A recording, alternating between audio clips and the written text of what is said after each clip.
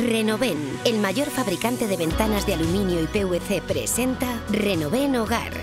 Una nueva división dedicada a la venta e instalación de todo tipo de soluciones para interior y exterior.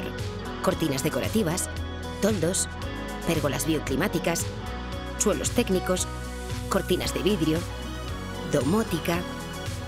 Renoven, soluciones para todo tipo de necesidades.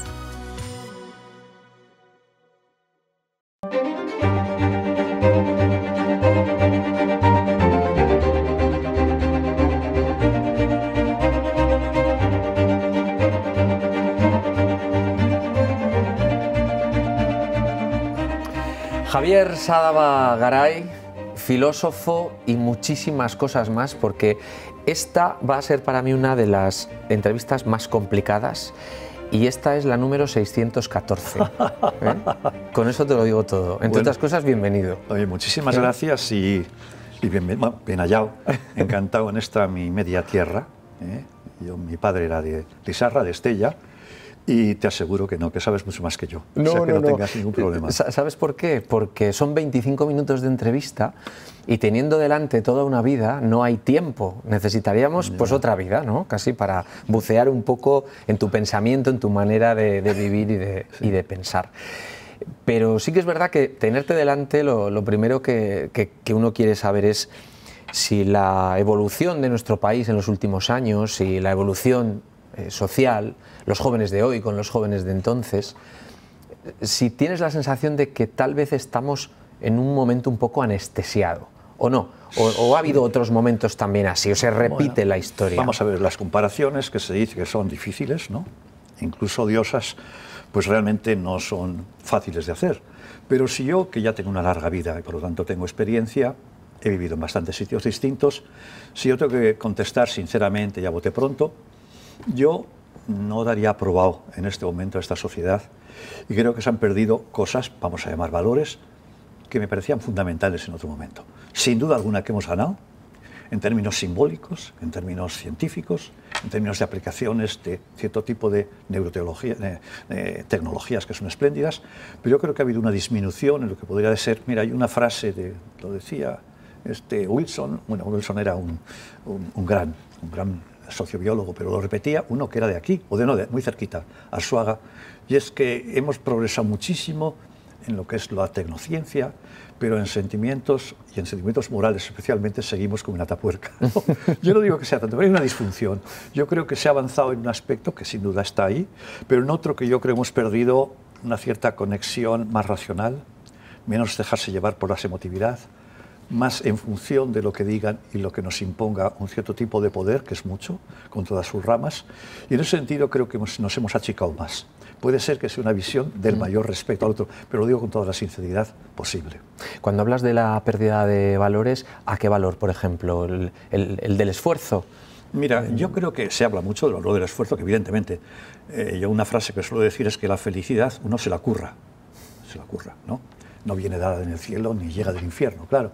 Entonces, yo creo que en términos de, valores, yo diría que, por ejemplo, un valor, no sé si había más o menos, pero hay muy poco, de razonar. No dejarse llevar por las emociones inmediatas, el inmediatismo. Bueno, yo creo que eso es peor que en otro tiempo y creo que es un valor que se ha perdido. Y junto a ese yo creo que también es un valor, los valores, un cierto valor moral, que es fundamental, que quizás sea el último, el más autorreferencial, que es ser digno y la dignidad está por los suelos. Y eso, entre otras cosas, es filosofar, porque muchas veces tiene como una carga un tanto negativa, ¿no? Cuando empiezas a darle muchas vueltas a algunas cosas o cuando te vas un poco por las ramas y te dicen, oye Roberto, venga, deja ya de, de filosofar. Nos, bueno, no, ¿Necesitamos más sí, la bueno, filosofía? A veces, a mí me hace gracia cuando dicen, bueno, pero eso son filosofías, ¿no?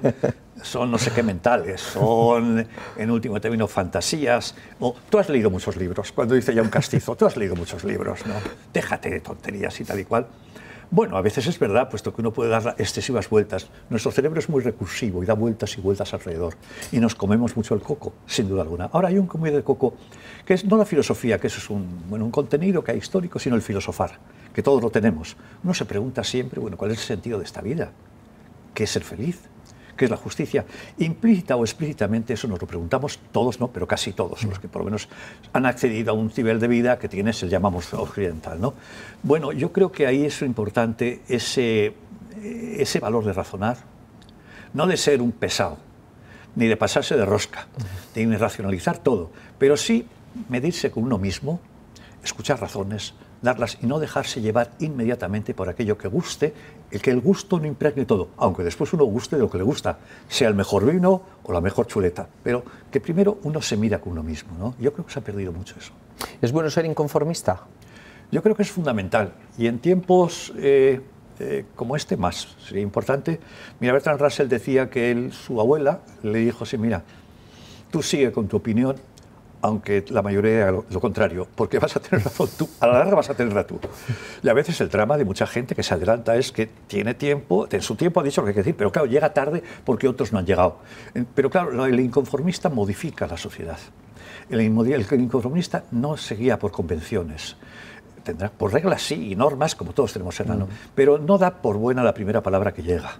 No obedece por obedecer. Se pregunta por qué eso se ha mandado. Ese tipo de no convenciones, informulismo, al final hace avanzar a los individuos y en conjunto a la sociedad. ¿Y es nuestro país un país de inconformistas? ¿Te encuentras muchos? Cada vez menos, la verdad. cada vez menos yo creo que aquí se ha colocado una, manta, una, manta, yo diría, de, eh, voy a permitirme decirlo así, pero de estupidez tremenda, ¿no? De estupidez tremenda. Se ha aturdido mucho, con los medios de comunicación, con las nuevas tecnologías que pueden ser espléndidas, ¿eh? cuidado, no estoy contra ellas, soy un apasionado además de la ciencia, pero bueno, con esta cosa de que inmediatamente, mira, yo suelo decir ahora, un poco de cachoteo, pero eh, yo ya no soy del sistema, soy del subsistema, porque ni me no tengo tatuaje, no tengo perro, y no veo series, entonces pues hablar con Entonces, bueno, aquí ha ido naturalmente entrando una manera de, una manera de ser que yo creo que elimina muchas posibilidades. Yo creo que hay gente muy potente, hay eh, jóvenes, meto a mi hijo ahí, entre otros, incluso a mi nieto, que sí saben, pero hay un conjunto, un conjunto de sociedad que es muy inerte, que siempre está pujada por los ciertos los organismos siempre del poder, los que pueden, los que tienen dinero, los que tienen los medios, etcétera, etcétera. Un poco es así. Ahora hablamos de esa parte del poder y, de la política también, que es la que toma las decisiones muchas veces que nos afectan al bolsillo fundamentalmente, que es, que es creo que solamente cuando nos revolvemos. Pero me voy a quedar en el apartado primero de las tecnologías, porque precisamente hace unos días en Civicán eh, tuviste la posibilidad de, no sé si, si se llega a conectar con el público que asiste a tus charlas o con los lectores que hayas podido tener, pero... Eh, ¿Se encuentra debate o diálogo a la hora de hablar de estas cuestiones? No, bueno, está habiendo una divulgación, pero que no llega mucho. Yo creo que para que hubiera debate tenía que haber primero una información mayor eh, por parte de los científicos que tendrían que divulgar, pero no divulgar para vender un libro, sino simplemente por dar información a la gente. ¿no? Y después por parte del poder político, que tendría que tener bueno, más consejos de ciencias y de letras, especialistas, y después saber difundirlo, saber difundirlo. Y sobre todo en la universidad, ¿no? Ya antes, yo diría desde el parvulario, a la gente hay que educarla, hay que educarla a saber qué es la ciencia, a saber cómo tiene que razonar, evidentemente, y saber cómo tiene que ser solidario, etcétera, etcétera, ¿no? O sea, yo creo que eso es importante y falta, falta, ojalá venga más. Yo creo que todo el que tenga una responsabilidad en este momento tiene que hablar de qué es la superinteligencia, la singularidad que se dice, qué es la revolución genética, ¿Qué puede afectarnos para bien y para mal? ¿Cómo podemos mejorar nuestros cuerpos o hacer personas de primera y segunda división? Que sería un problema gordo, gordo, gordo, éticamente insobornable, vamos, imposible casi en este momento de dar una palabra que fuera medianamente sensata. ¿no? Sí, porque hemos pasado de estudiar la biología o de tratar de entender la biología a pasar a la bioética, eh, cuestionar qué líneas se pueden cruzar, qué no, pero estamos constantemente cruzando líneas. Eh, ahora, no sé tu nivel de preocupación con respecto, por ejemplo, a la inteligencia artificial, cuál es, pero ahí hay otra línea. Sí, bueno, ahí a mí el tema de la inteligencia artificial me importa especialmente, vamos, pues porque yo pienso que yo me he dedicado, por lo menos desde el punto de vista de, de la, de la universidad, de la enseñanza de la docencia universitaria y no universitaria, a la ética, ¿no? Y la ética tiene que tratar con los hechos. Al final nosotros decidimos, pero primero hay que conocer los hechos. ¿no? Y en este momento la ética se ha quedado, se entienda lo que se entiende. Vamos a entender ética en un sentido muy amplio y que, que todo el mundo por lo menos pueda convenir, que es hay ciertos deberes, hay ciertas bondades y hay ciertas cosas que no se deben hacer. ¿no? Por lo tanto hay límites. Entonces, claro, la ética se ha encontrado muy inerme ahí. Los avances, primero, hay dos niveles ha habido en los últimos tiempos. Uno es el nivel ah, en función precisamente de lo que ha sido, lo que he dicho antes, ¿no? Desde el 50, los 50 de la revolución genética, podemos hibridarnos ahora, podemos hacer intercambio de genes. Pero el segundo ha sido impresionante, cuando se dice que podemos cambiar de esencia, que podemos llegar transhumanísticamente, o pues, como poshumanos, a una especie distinta. Bueno, yo veo, lo veo difícil, pero veo que es un problema real. Se va avanzando a una velocidad impresionante, pero impresionante. Y si llegáramos un día, que hoy parece que es un poco lejano, pero no tanto, que se pudieran leer, imagínate, la intimidad de alguien, sus pensamientos, modificar su voluntad, pues la ética tiene que dar su palabra, o decir que ya no sirve y tiene que hacer otra, o aprender de estas situaciones y generar algún tipo de, de, de compromiso o proporción entre lo que vamos avanzando y lo que queremos ser o no ser como humanos. ¿no? Claro, porque habrá veces que uno llega a un punto de resignación absoluta. No me gusta, pero Hombre, no lo quiero, pero... En la vida lo malo, o lo malo, muchas veces, otras veces lo bueno, es que cosas que se piensa que no van a ocurrir nunca, ocurren. Hay testimonios eh, a manta en todos los campos, en todos los ámbitos del saber, pero eh, bueno, concretamente en biología hay casos en los cuales con la clonación un gran biólogo decía, esto no se llegará hasta dentro de 100.000 años, y a la semana o unos meses ya estaba hecho. Es decir, que vienen situaciones en las cuales uno de una u otra manera tiene que acomodarse. Pero el problema de acomodarse, en ética hay que distinguir mucho. Yo no tengo que acomodar a los contenidos porque pueden ir cambiando. Pero hay una forma última de la ética que esa difícilmente puede cambiar, que es que no vale para mí solo lo que es bueno y para ti lo que es malo. Es decir, que en último término uno y otro somos iguales. Que no quieras para otro, no lo quieras para ti. Esa es la formalidad por encima, la estructura de la ética. Y esa es la que si se toca, tendremos que cambiar no solo de ética, sino de noción que hagamos del ser humano, claro. Claro. Lo que le acompaña también a la evolución, a la investigación, a la inversión eh, en investigación, es tener mayor calidad de vida. Estamos hablando de cómo hemos evolucionado, estamos hablando de 83, 86, 87 años de esperanza de vida, de una buena vida, de, llegar a la vejez eh, habiendo pasado enfermedades que antes no tenían cura y que ahora, bueno, pues eh, hay porcentajes de supervivencia en un cáncer que garantizan eh, una vida tranquila. A mí me parece indudable eso, pero tú has utilizado dos palabras, investigación y la otra, inversión. En investigación estamos avanzando, es obvio. Todos los laboratorios del mundo cada vez además más unidos, pues naturalmente están diciéndonos cosas que hasta el momento nos parecían imposibles. Era ciencia ficción. Y eso tiene unos resultados excelentes. Tenemos mejor imagen de lo que pueden ser cualquier tipo de, de, conocimiento del cerebro, por ejemplo. Tenemos, podemos modificar. El cáncer va a ser mucho más difícil, a lo que parece, pero bueno, si hay cantidad de aspectos que tienen que ver con lo que es el cuerpo humano, su evolución y la mente humana, que han avanzado. Pero claro, si la investigación está ligada siempre por un modelo, que a veces es omnímodo del dinero, las cosas cambian porque puede haber una inversión en algo que solo va a valer para unos pocos y muy poca para otros que sería necesario hacerlo. Y que al final el asunto es, bueno, tocamos con la ética de nuevo, con la justicia social, avancemos, tengamos cuidado con los límites y al mismo tiempo que sea para todos. Pero claro, una persona que se ha podido dedicar incluso a la investigación, o otro que ha podido poner el dinero, o otro que directamente sigue estudiando, o alguien que tiene inquietudes, todos al final tenemos un punto en común en un momento dado cuando te dicen... Ojalá. Yo creo que eso es lo que hay que buscar. Mira, yo conozco y además estuve no hace mucho con Rafael Juste en Nueva York, que es el que está haciendo. Él está más en los eh, neuroderechos, porque todo está condicionado. Es decir, hay una, parte científica, otra parte ética y otra parte del legislador. Y claro, el asunto es que hay que conseguir precisamente esa confluencia de diversos eh, campos. Hay que, eh, es indudable. De la misma manera que hay muchos campos dentro de la investigación, que la investigación al mismo tiempo que entre en contacto con aquellos que se dedican de una manera a otra a la ética y al derecho, ¿no? y, dar, información y dar, eh, eh, y dar también ocasión para que la gente se, se dedique, bueno, decida. Pero lo que me decía este, y con razón, es que no hay forma muchas veces. Primero, no hay todavía una suficiente, a mí me parece, capacidad de entendernos unos con otros. Para el científico, dicen los filósofos, eso no, me, que este, usted venga aquí, le voy a enseñar cómo es la célula, no, no venga. Y otro dice, este tío no me ha entendido, pero estoy diciendo las cosas que son importantes, que tienen que ver la vida y el sentido. Entonces eso es difícil, ¿eh? es muy difícil. De ahí que tengamos unos que otros, tendrían unos que otros que conjuntarnos más y tener una visión más, insisto, que insista en lo que son unas cosas y otras y darlas eso que yo lo encuentro. Él me decía lo mismo que estoy diciendo yo ahora. Jo, es que nos reunimos y al final uno nos dice, mira, es que yo tengo mucha prisa, tengo que legislar. Y el filósofo dice, no, es que tengo que darle más vueltas. Y el otro dice, mira, es que yo tengo un laboratorio ahí. Eso es un, eso es un problema real. Y ahí está, claro. Para acabar todos en el mismo punto. Sí, deberíamos acabar en el mismo punto. Yo soy partidario de muchas cosas utópicas, pero la utopía, la utopía por lo menos es un ideal hacia el cual hay que tender. Si lo voy a ver o yo, no, no lo voy a ver. Y a lo mejor no lo va a ver nadie. No quita para que yo siga el refrán chino que para llegar a la meta hay que dar el primer paso. Y hay que darlo. ¿no?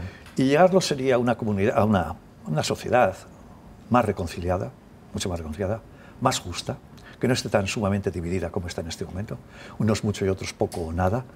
Y eso requeriría también una ética universal, ir superando las distintas culturas éticas, cada uno tenga su cultura que le dé la gana pero después haya cierto tipo de... Están recogidos más o menos en los derechos humanos, ¿no?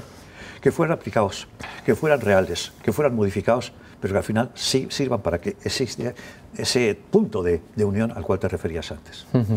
Y decías también que habrá cosas que no veremos porque aquí de momento no se ha quedado nadie per secula seculorum. Aquí cada uno de nosotros vamos a ir desfilando. ¿Por qué nos cuesta tanto hablar de la muerte? Bueno, hay dos cosas ahí. Una es eh, que hay en este momento y tiene que ver también con las industrias, ¿no? El tema de la longevidad. Ahora vamos a vivir como Matusalén y eso se vende. Pero no sé si lo quiero, ¿eh? Ah, bueno, eso es, Nietzsche decía, lo quieres? va a ser yo que me den el chip, que me den el chip para quitarla yo. que, me den el permiso. Como para salir de esta vida, como para salir de la otra, la hipotética, ¿no? Este, y yo ahí eh, creo que hay una... Y otros están hablando de la inmortalidad en términos, a mí me parece que es una ficción esa grande, ¿no? Pero se está hablando y se está vendiendo también, ¿no? Y bueno, claro, y la crioconservación y tantas cosas más. Pero yo creo que mientras tanto nos vamos a morir, que somos pluricelulares y que tenemos, hacemos una curva, nacemos, llegamos al cenit y después acabamos y muriendo. Y sí, habría que, sin estar todo el día hablando de la muerte, pues ver que somos mortales, que nos morimos y por lo tanto aprovechar la vida. Es que, como decía alguno, ¿no? Al principio no sabemos nada, porque estamos, hemos nacido. Y cuando nos morimos tampoco. Aprovechemos el intervalo. Ya. Pero, bueno, no lo sé, depende al final de cada uno, de cada una, ¿no? Pero también nos, nos cuesta hablar del amor. Eh, incluso nos da pudor decir quién te gusta o qué sientes por alguien, o, o, el amor familiar o cualquier tipo, ¿no? Es, es como, uf, se ha puesto intenso. No, pero el amor, sobre el amor se habla mucho más, eso, el amor, el poliamor, el autoayuda en el amor, qué haces si te deja la Pero eso es cuando tienes problemas con el amor. Pero... No, cuando está bien, bueno, pues tu problema sigue todo el mundo, es que está bien, deja estar bien, en muy poco tiempo puede dejar de estar bien. Del amor hay mucha, hay mucha, hay, mucha, vamos, mucha publicidad, mucha ayuda y autoayuda y tal, igual. Pero en cualquier caso, sí que es verdad que entrar a veces, desnudarnos a nosotros nos cuesta, nos cuesta mucho. ¿No? Tenemos miedo, estamos llenos de miedos, ¿no? Y la muerte produce el miedo de los miedos, también es verdad, es la desaparición. Es que ya hay una distancia ya infinita. El muerto, yo cuando murió mi padre, le veía en la caja y le decía, ya no le voy a ver más. Eso no es, ha estado enfermo, que no, eso no es que está enfermo, ha mejorado. Es que ahí hay un cambio tan radical que para eso hay que tener, Montaigne, bueno, que carga Montaigne, podría ser cualquier otro, ¿no? Que uno es libre cuando supera el miedo a la muerte. Es decir, que a mí me cuesta. ¿Has tenido algún momento cercano a la muerte? No, he tenido uno muy cercano que ha sido con mi difunta y querida mujer, que tuvo un melanoma y yo estuve, lo pasé horrorosamente mal. Vi la muerte de cerca, en ella, la quería mucho. De mí, no, la veo ahora. La veo ahora que soy mayor y me di cuenta que eso quiero escribir mucho, que quiero no sé qué, unos cuantos, porque la veo cerca. Y no sé qué decirla a la muerte, no sé qué decirla. Si decirle, aquí me entrego o como Satán, Voy a decir que no. ¿Y estás preparado? Pues a veces pienso que sí y a veces pienso que no. No es una respuesta, pero es que es real. ¿Cuántos años tienes? He cumplido 82 ya. Como. Que no, que no aparentas. si que nos hemos dices- pasado al tuteo porque lo hemos pactado para No, yo he empezar. ¿eh? encantado en el tuteo y además así me rejuveneces. ¿eh? Pero mira, pero lo orgánico va por ahí. Ya, He escrito ya. un libro ahora Ya. que llama sobre la vejez, ¿no? los viejos. Y bueno, pues sí abordo estas- estos temas. Y en cierto modo es, en ese libro estoy exponiendo a mí mismo, extendiendo mis miedos, mis necesidades y mi interés en que en un momento determinado alguien me escuche cuando hable de la muerte. ¿Qué piensas que hay cuando dejamos de estar aquí? Desconozco completamente, soy totalmente agnóstico. Yo solo puedo hablar, creo que quien hable de más allá está escribiendo en el vacío. Entonces yo no digo ni que sí ni que no, lo que digo es que yo no sé más de que aquello, que hay unos límites, que es el espacio, que es el tiempo y que no puedo decir nada más. Por lo tanto, todo lo demás no me lo creo. Me gustarían ciertas cosas y las añoro. Y en cierto modo, en cierto modo queda dejadamente algo que digo yo, la última palabra no está dicha, pero ahí me quedo. 82 años es toda una vida, conoces perfectamente nuestro país, un hombre además de portugalete que ha vivido también en un territorio que durante muchísimos años convivió con el dolor casi diario. Afortunadamente hay cosas que ya no están Sí. y afortunadamente también eh, vemos que en nuestro país hay mucha gente que viene de vacaciones, que incluso viene a retirarse, que es un buen lugar para vivir. ¿Cómo ves nuestro país? ¿Somos más democráticos que antes? Bueno, mira, vamos a ver, yo, a pesar de que me siento muy de aquí, eh, vivo allá, vivo en Madrid, y a veces no digo que haya mucha distancia, a veces hay un abismo. ¿eh? Cuando yo digo cosas del euskera, mucha gente que incluso es ilustrada y tal, no tiene idea. Pero cuando digo ni idea, ni idea. Tú le dices a uno de- que aunque tenga dos carreras, es que no es una lengua indoeuropea y no sabe lo que es. Pero aquí puede ocurrir lo mismo. ¿eh? A veces una, hay una discontinuidad grande. Yo creo que no existan aquellas cosas que has dicho tú, está muy bien que la gente pelee dentro de lo que es una manera democrática de hacerlo, pues muy bien también. Lo que ocurre es que yo ya soy más escéptico en todo. Y yo esperaba más de este país también, ¿eh? esperaba más. Yo pensaba que el, el- el movimiento Abertzale, en concreto, en un sentido amplísimo, ¿eh? y, dentro además siempre de unas normas obviamente éticas, fuertemente éticas, podía haber dado más, podía haber dado más, ¿no?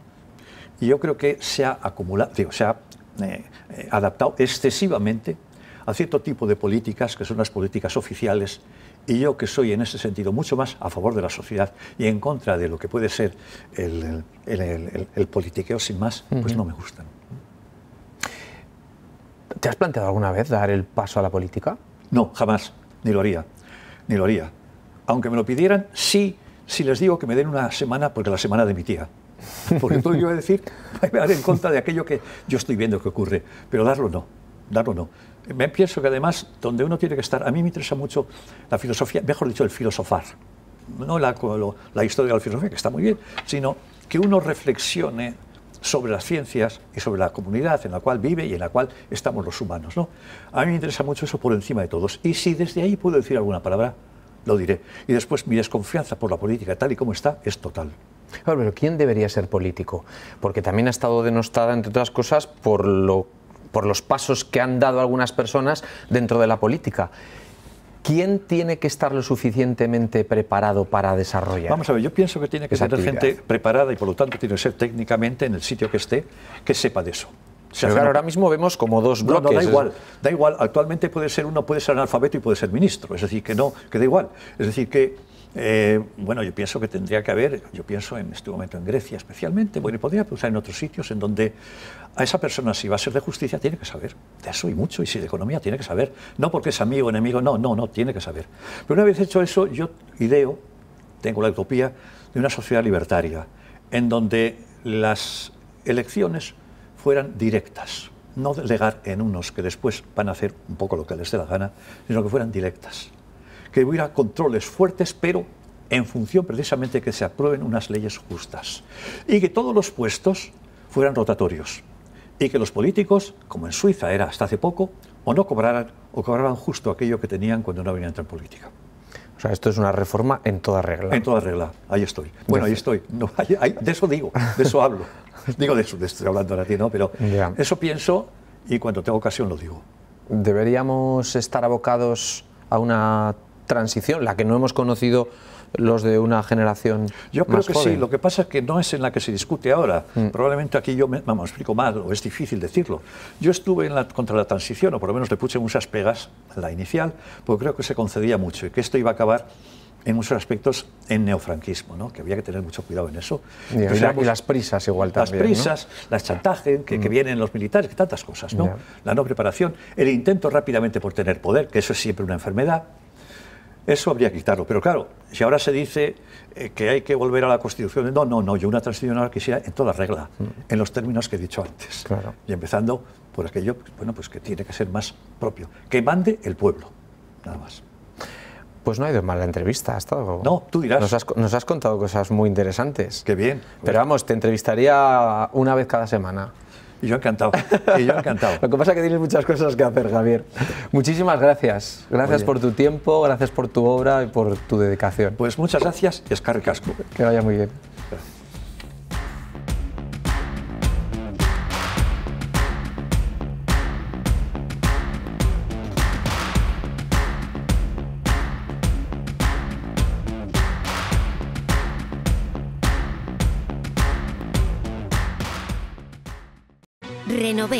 Mayor fabricante de ventanas de aluminio y PVC, presenta Renoven Hogar. Una nueva división dedicada a la venta e instalación de todo tipo de soluciones para interior y exterior. Cortinas decorativas, toldos, pérgolas bioclimáticas, suelos técnicos, cortinas de vidrio, domótica. Renoven, soluciones para todo tipo de necesidades.